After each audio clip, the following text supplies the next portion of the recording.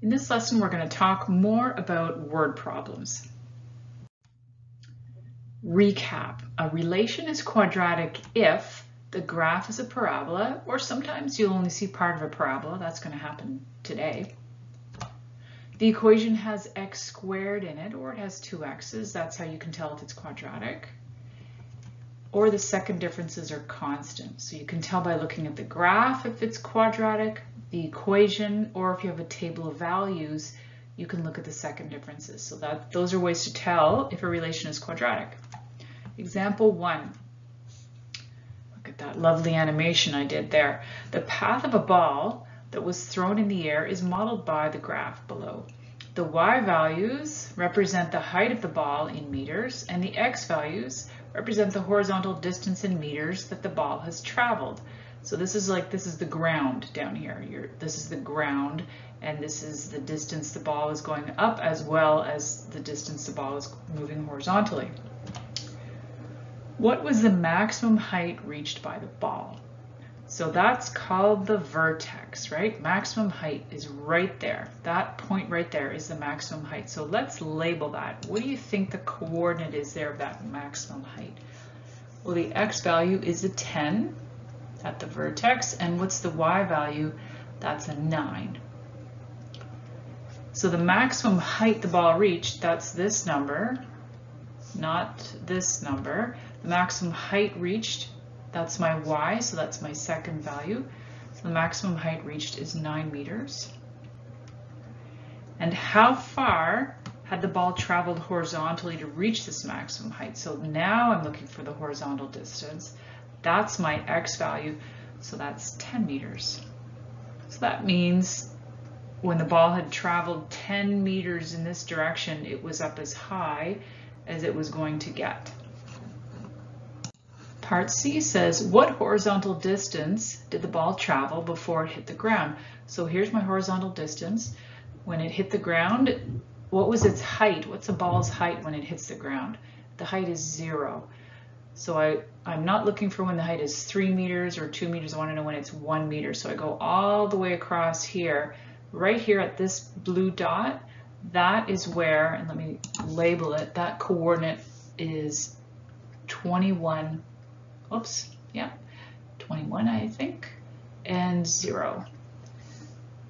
So the horizontal distance, it was 21 meters horizontally when the ball hit the ground.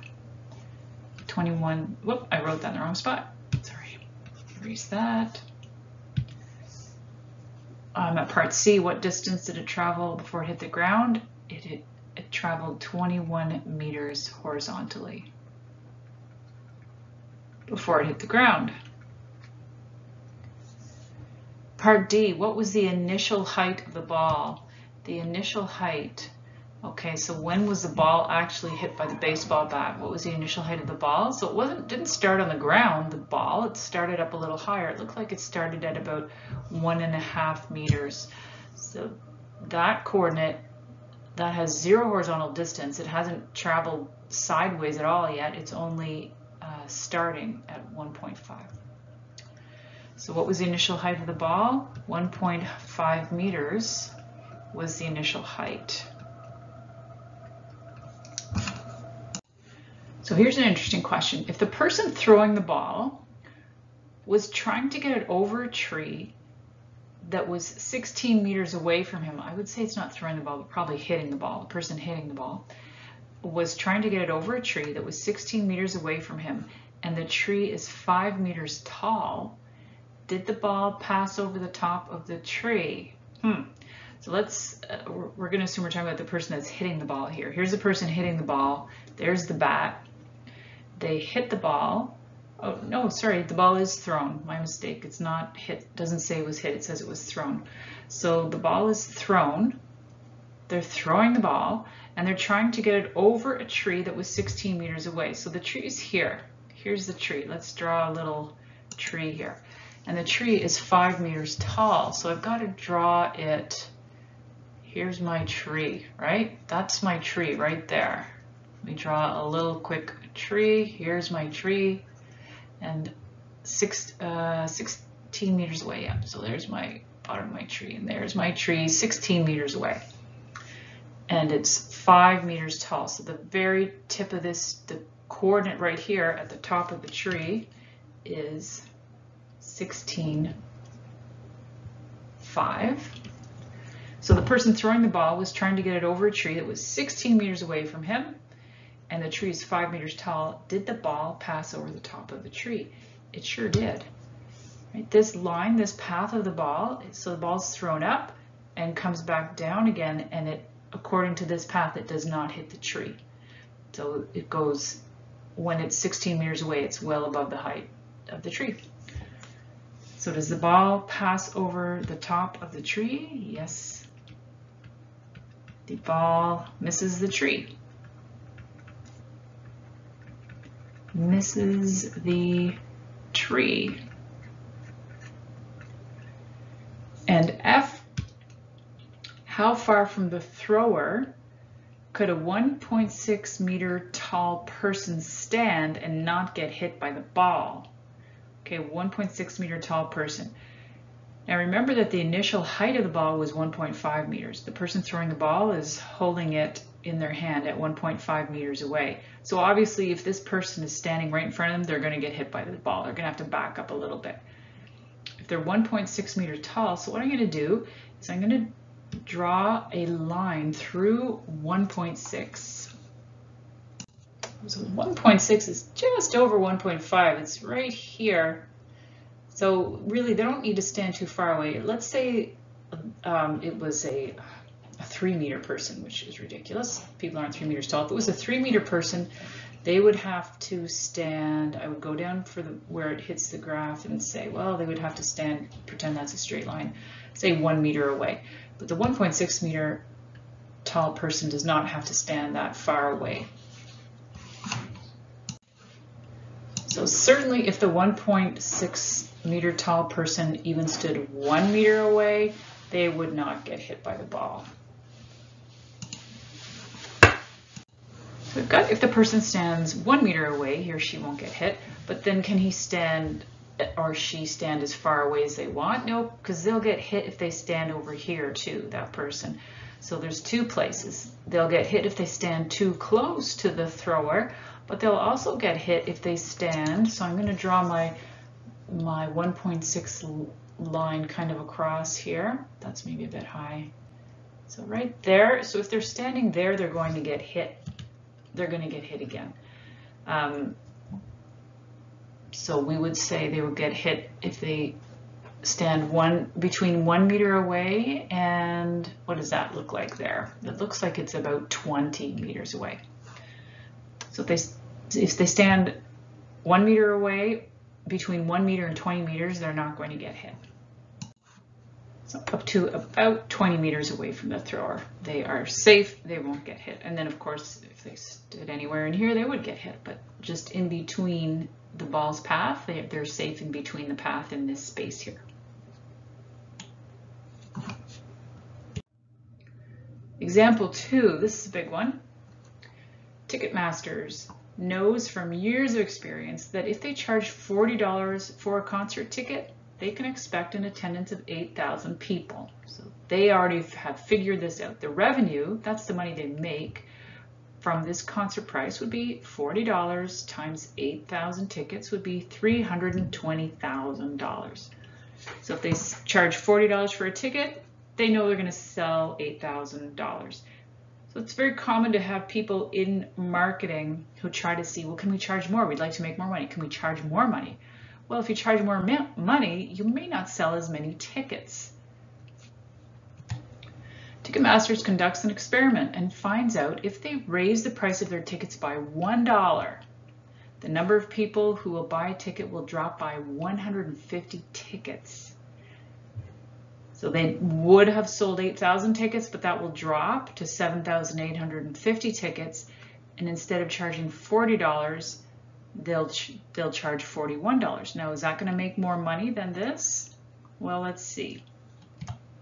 We're going to complete the table below for tickets costing up to $52. So we've got this whole price of tickets already done here. We already know the first one. $40 a ticket, you get 8,000 people coming, multiply those two numbers together, you get, that's how we got that up here, we got $320,000. So what if they charge $41 for a ticket? Well, then they're going to lose 150 people. So their attendance, that's this column here, their attendance is now down to 7,850. So what's that, what are they going to make? What's the revenue they're going to make? And here's a formula, price times attendance. So we, we take the price of the ticket, that's $41, we multiply it by the number of people coming, and we get $321,850. So it actually went up, right? It went up. They made more money. Even though they sold fewer tickets, they made more money. So how high can we go with that, do you think? How, how much longer can they keep charging more money and still making more money? Let's see what happens. So we go to $42 a ticket. That means they're down another 150 people. Another 150 aren't going to buy because they raised it another dollar. So now they're down to 7,700 people. So how much money are they making now? So we're going to take 7,700 and multiply it by 42. It's still gone up. They're still making more money. That's a nice increase there. They're making more money. What about if they bring it up another dollar? It lost another 150 people in their attendance. Now what's the revenue? So revenue is price times the attendance, right? So 43 times 7,750. Remember, we're going to subtract 150 each time. That's how we're getting this number right here. You know what? Let's just do all of these right now. This is a this is an easy step. So let's keep let's just do subtract 150 and let's fill in this columns once we have one mathematical process, let's just keep doing that. It's a little faster. Just subtract 150, keep filling them in. Subtract 150, keep filling them in. Subtract 150, because every time we increase the price ticket, the price of the ticket by a dollar, we're losing 150 sales. So this is coming down, and we charge $52 a ticket we've only got 6,200 people in attendance.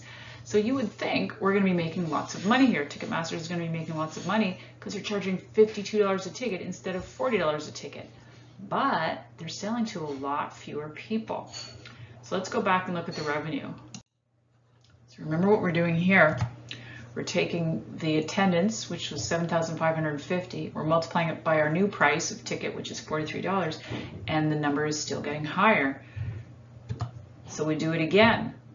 We take now the lower attendance multiplied by $44 and it's still getting higher. So let's do this whole column here. And we do that by multiplying the first two numbers together. We're just multiplying these two numbers together each time to get our new answer in here. So we just keep multiplying. So that number is higher. This number is higher. We're 326,000 now. This is just slightly higher though. Between these two numbers, we've only got another $50. So we, we lost another 150 people here, charged another dollar for a ticket, but we've we're still, it's still a good number. That's a lot of money considering we started off with $320,000 for a concert. We're $326, now. But that number is a little lower. Okay, so we've kind of reached a point where people, where the more money we're charging is not paying off anymore because that number's gone down. So continue to multiply those first two numbers together and we see that it's coming down and still coming down. So we're charging $50 a ticket, but our, we're not making as much money. $51 a ticket, still coming down. $52 a ticket, it's still coming down. So let's see if we can make sense of all of this data here. We're going to plot revenue, those are these numbers, versus ticket price. That's these numbers here. So which one goes where? On the x-axis, what are we going to put on the x-axis? We're going to put our ticket price down here. Ticket price is going to go down there. I'll write that in. Okay, ticket price, and now What's going to go on our vertical axis, which is our dependent?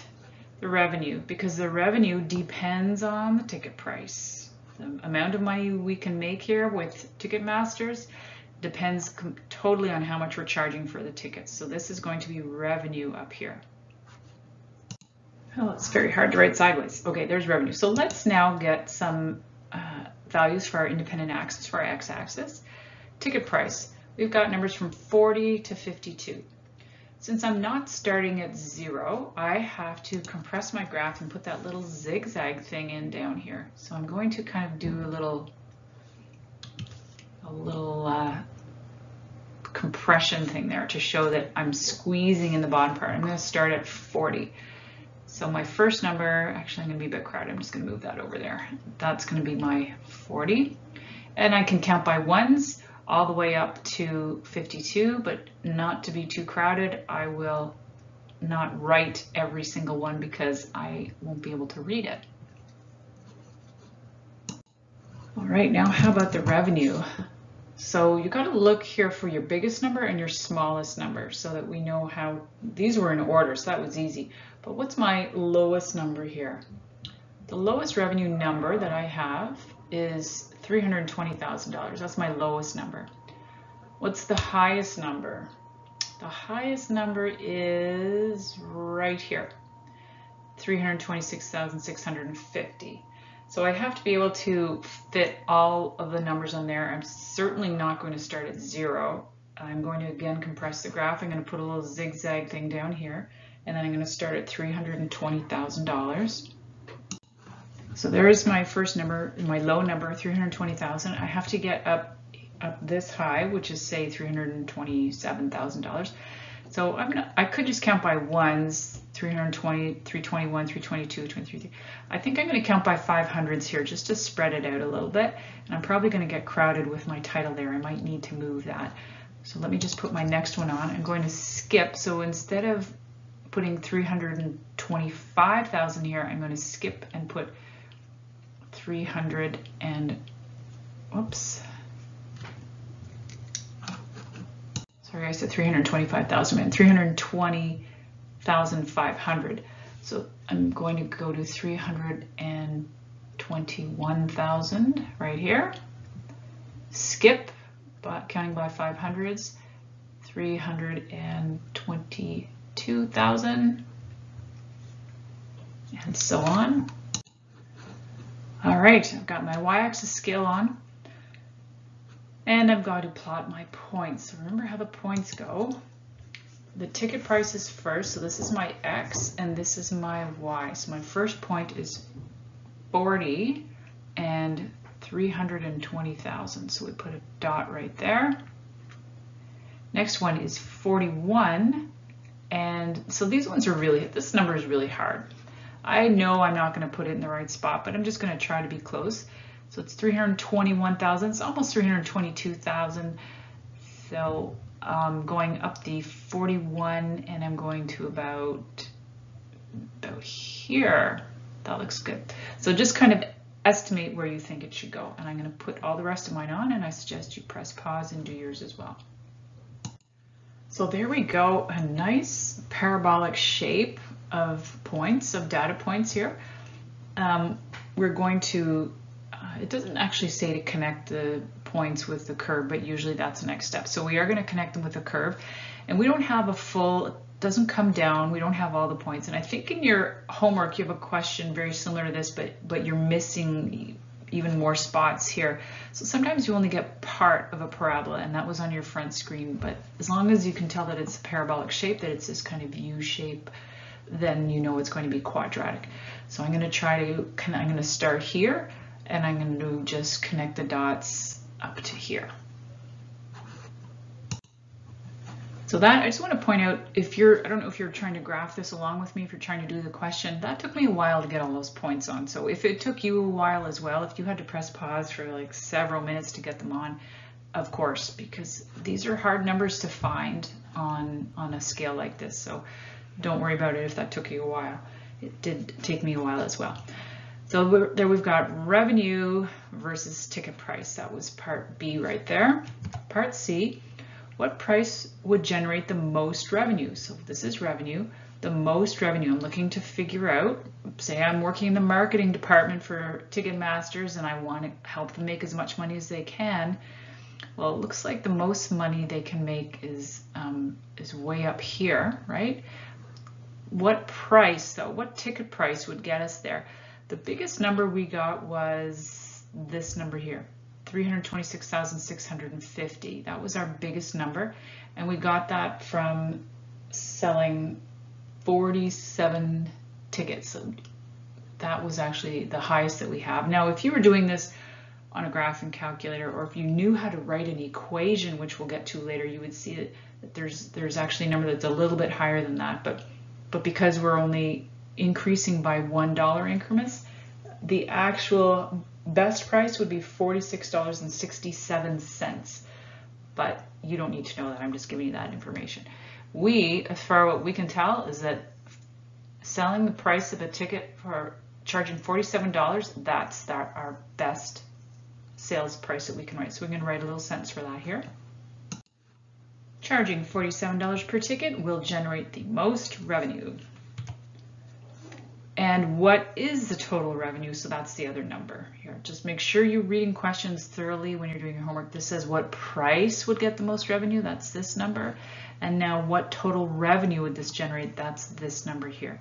So we already have that in the chart. I don't need to try to figure out from the graph because I already have it right here. $47. If I charge $47, this is my maximum revenue right here. So $47, let me circle that. $47 gets me my maximum revenue. The maximum revenue would be $326,650. That's your final example on uh, word problems. So what we did today was we talked about what if you're just given either given a graph or given a given some sentences and from the information you have to come up with a table of values and a graph. So that's what we worked on today.